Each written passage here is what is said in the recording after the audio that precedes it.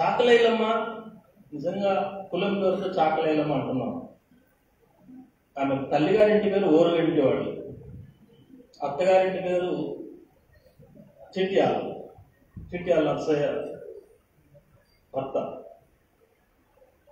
కాకపోతే ఆమె వీరనారి చాకలైలమ్మ పేరుతోటి ప్రాచుర్యం పొందింది కాబట్టి అందరూ ఆ మాట మాట్లాడుతున్నారు చాకలైలమ్మ అని.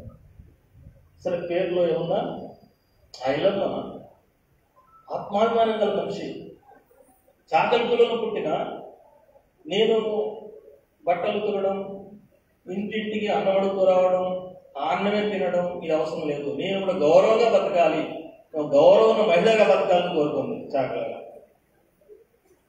అందుకని ఆ వృత్తి మానుకొని ఒక భూస్వామి దగ్గర నాలుగు ఎకరాలు కౌలుకు తీసుకొని ఆ కౌలు భూమి సాగు చేస్తోంది.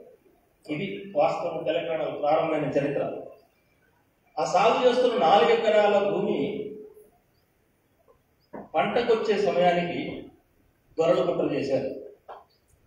అదన ముట్టుగుడ్డలు వచ్చే చాకలానే మన ఇంట్లో అన్నం పెడితే తినే చాకలోళ్ళు వీళ్ళు రైతులుగా అంటే భూమి సాగు చేసి గౌరవంగా బతుకుతారా?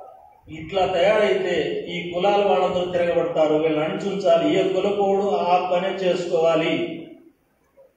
చాకలోళ్ళు బట్టలే ఉతుక్కోవాలి మేదలోళ్ళు బుట్టలే అల్లుకోవాలి కుమ్మరోళ్ళు కుండలే చేసుకోవాలి మాది వాళ్ళు చెప్పులే అల్లుకోవాలి. అంతే తప్ప వేరే వృత్తి వైపు చూడకూడదు. అది భూస్వామి యొక్క తత్వం. ఆ రకంగా ప్రజలు లొంగి ఉండాలనే కోరిక. దానికోసం కరణం శేషగిరిరావుని కట్టుకొని వాటితో మాట్లాడి ఆమె రికార్డ్ అంతా మార్పించి కోర్టులో కేసేశారు. కమ్యూనిస్ట్ పార్టీ అండతోటి ఆ కేసులో గెలిచింది ఐలమ్మ తనదే భూమి కౌలు తనే చేస్తోంది అనేది కోర్టు తీర్పు వచ్చింది అయినా సరే భూస్వామ్య గుండాలు ఆ పొలంలోకి వెళ్ళి ఆ పంట స్వాధీనం చేసుకోవడానికి ప్రయత్నం చేస్తే అప్పుడు కమ్యూనిస్ట్ పార్టీకి అంటే ఆంధ్ర మహాసభ నాడు కమ్యూనిస్ట్ పార్టీ నిషేధించబడింది. ఆంధ్ర మహాసభ పేరుతో సంఘం అంట. సంఘం పేరుతో కబురు వచ్చింది అప్పుడు చాకలైలమ్మ భూమిలో పంట రక్షించడానికి రంగంలో దిగినవాడు భీమిరెడ్డి నరసింహారెడ్డి. భీమిరెడ్డి గారి నాయకత్వంలో దళం వెళ్ళి గుదపల సంఘం అంటాం. ఆనాడు గుదపలు పట్టుకునేవాళ్ళు కర్రలు. ఈ గుదపలేసుకుని వెళ్ళి చేను చుట్టూ నిలబడి ఎవడరా వచ్చేది భూస్వాములు వస్తే రండి చూసుకుందాం అని చెప్పి సవాల్ చేస్తే గుండాలంతా పారిపోయారు. అప్పుడు ఆ పంటంతా కైలు చేసి తీసుకొచ్చి చా ఐలమ్మ ఇంట్లో బస్తాలు మోసిపోయారు. అది మొదటి తిరుగుబాటు. ఒక భూస్వామికి వ్యతిరేకంగా వాళ్ళ ఆకాంక్షలకు వ్యతిరేకంగా పేదవాళ్ళు నిలబడటం సంఘ అండివ్వడం వాళ్ళ దౌర్జన్యాన్ని ఎదుర్కొని పంట పొలాన్ని రక్షించడం అనేది తెలంగాణలో మొట్టమొదటి తిరుగుబాటు ఎదురీత. దాన్ని చూసిన తర్వాత అప్పటికే లక్షల మంది లక్షల మంది గ్రామసభల్లో ఇట్లాంటి బాధలు పడుతున్న ఉన్నారు. అక్కడ ఒక చాకలామె ఇంత పోరాటం చేసిందంటే నేను అనుకుంది ఎవరు?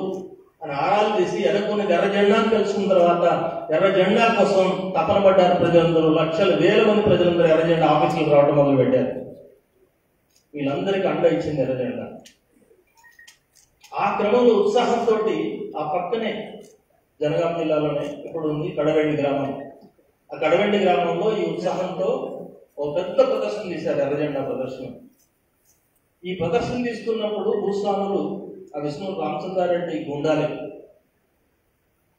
చాకలైలమ్మ భూమి విజయంతో ఉత్సాహం పొందిన ఈ రైతులందరూ పేదలందరూ ఈ ఎర్ర జెండా కింద సమీకృతం అయితే మన రాజ్యానికి ప్రమాదం వస్తుంది మన దోపిడీకి అసలు వస్తుంది. కాబట్టి ఈ ప్రదర్శన అణిచివేయాలని చెప్పి కుట్ర చేసి ఆరంభంలోనే దీన్ని అణిచివేయాలి. అని తుపాకులు బట్టి గడిలోంచి పొంచి ఉండి ప్రదర్శన దగ్గరికి వచ్చిన తర్వాత సూటిగా తుపాకి బట్టి ఆ ప్రదర్శన నాయకత్వం వహిస్తున్నటువంటి దొడ్డి కొమరైన సూటిగా కాల్చి చంపారు అక్కడికక్కడే కొమరై చనిపోయాడు. అది నలభై ఆరు జూలై నాలుగో తేదీ జరిగింది ఈ ఘటన. దొడ్డి కొమరయ్య మరణం. అది మొట్టమొదటిసారి తెలంగాణలో వీరమరణం పొందినటువంటి మొదటి నాయకుడు దొడ్డి కొమరయ్య ఆ ఆ అమరత్వంతో ఒక ఆలోచన ప్రారంభమైంది.